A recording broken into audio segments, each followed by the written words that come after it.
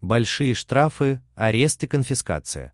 Что теперь грозит за пьяное вождение? На этой неделе в Украине вступит в силу новый закон, который ужесточает наказание за пьяное вождение. В частности, предусмотрены большие штрафы, административные аресты и конфискация автомобиля. Об этом на брифинге рассказал замначальника департамента патрульной полиции Алексей Белошицкий. По его словам, если первое нарушение предусматривался штраф 10 200 гривен и лишение прав на первый год, то теперь штраф повышается до 17 тысяч гривен. За второе нарушение в течение года штраф увеличивается с 20 400 до 34 тысяч гривен.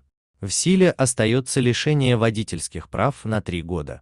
Добавляется оплачиваемое изъятие авто и административный арест на 10 суток.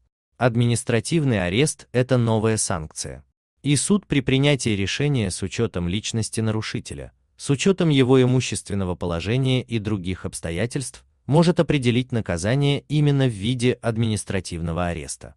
Потому что во многих случаях даже штраф в 34 тысячи гривен может быть недостаточно действенным для определенных категорий лиц, отметил Белошицкий. Что касается оплачиваемого изъятия, то по этой процедуре по решению суда автомобиль изымается, продается на аукционе, а средства возвращаются собственнику.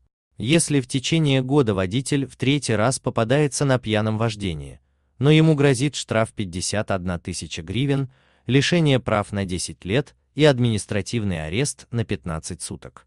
Кроме того, предусмотрена конфискация авто а за употребление алкоголя или особых лекарственных средств после нарушения и до освидетельствования штраф подниму с 20 400 гривен до 34 тысяч гривен.